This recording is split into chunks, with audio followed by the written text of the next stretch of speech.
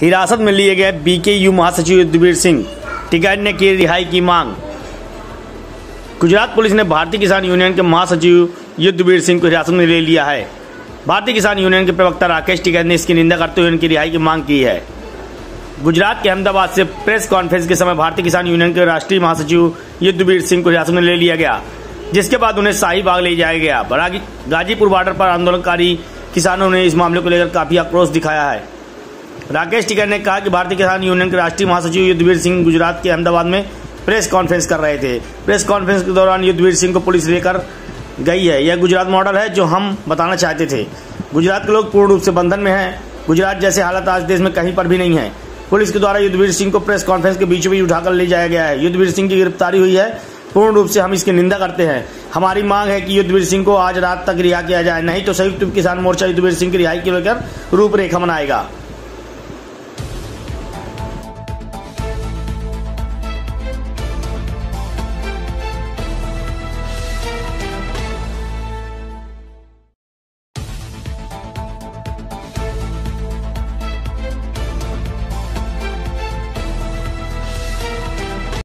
आज जो चौधरी युद्धवीर सिंह हैं, जो अपने भारतीय किसान यूनियन के राष्ट्रीय महासचिव हैं, वे अहमदाबाद में एक प्रेस कॉन्फ्रेंस कर रहे थे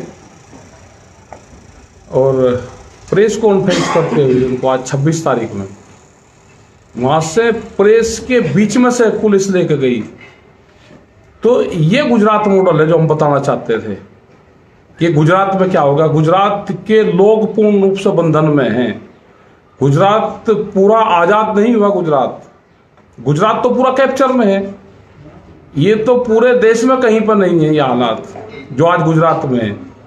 पहली कॉन्फ्रेंस संयुक्त मोर्चे की हुई और प्रेस होते हुए मीडिया के सामने उनको बीच में से उठा के ले जाया गया। ये गिरफ्तारी हुई है। पूर्ण रूप से हम इसकी निंदा करते हैं। और अगर उनको रात तक रिहा नहीं करा गया, और हम चार और पाँच तारीख में हमारी फेयर मीटिंग वहाँ पे है। गुजरात में मीटिंगें करेंगे, गुजरात को आज़ाद करवाएँगे। गुजरात का जो इशू है, उन इशू को लेकर आगे चलेंगे।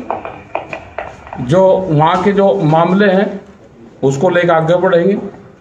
गुजरात में भी किसानों को एमएसपी चाहिए। गुजरात के किसानों को भी, देश के किसानों के संगठन के साथ में जोड़ेंगे। गुजरात भी इसी देश का एक हिस्सा है। और जो बार बार हम कहते हैं कि गुजरात में हम जाएँगे तो पूरा इतना सक्रिय होगा कि गुजरात में कोई बाहर का आदमी नहीं जा सकता। ये हालात देश में पैदा नहीं होंगे। गुजरात में जाएँगे, वहाँ के किसानों से बातचीत करेंगे, वहाँ के जो मसले होंगे, उन मसलों को उठाएँगे। और आगे की जो एक रणनीति है हमारी, वो हम बढ़ाएँगे। युद्धवीर सिंह को रिहा करें यह हमारे डिमांड है।